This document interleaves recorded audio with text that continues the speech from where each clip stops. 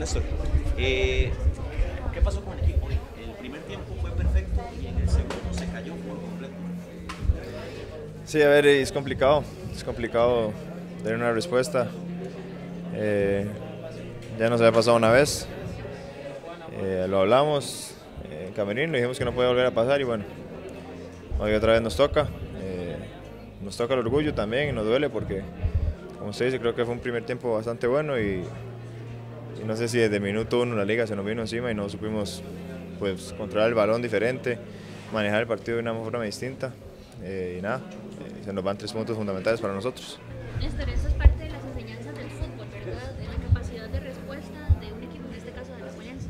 Y a ver, ya, ya estamos grandes todos y, y ya hemos tenido un golpe así contra el UCR también, 3-0 y nos dan la vuelta 4-3.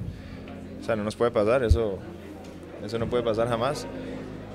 Pero hey, somos responsables nosotros eh, de estas situaciones y tiene que, si queremos hacer algo, tiene que cambiar, porque no puede ser que, que un equipo como Cartaginés, con los jugadores que tiene, eh, de experiencia y todo, pues nos pase eso.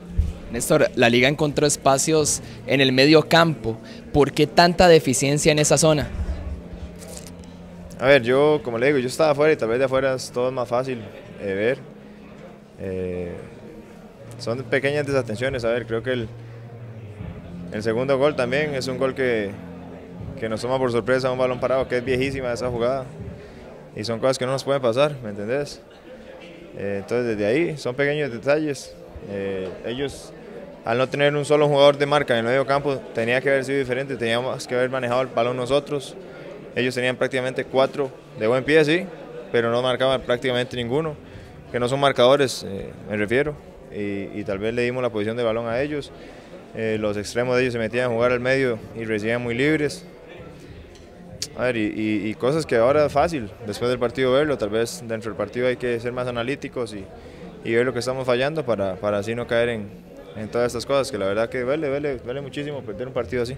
Quiere decir que hubo ansiedad por parte del equipo y que repercutió en el resultado. Y a ver, no sé si ansiedad, pero había que manejarlo diferente, un 2-0 en nuestra cancha, eh, una media cancha de ellos que como le vuelvo a repetir, el fuerte de ellos no era la marca, eh, teníamos que haberla manejado nosotros. Y a ver, eh, le dimos la pelota a ellos, ellos se fueron con todo desde el primer minuto del segundo tiempo, había que bajar también y manejar diferente el segundo tiempo, pero bueno, ya ahora muy fácil después del partido decirlo, pero bueno, que nos quede enseñanza una vez más.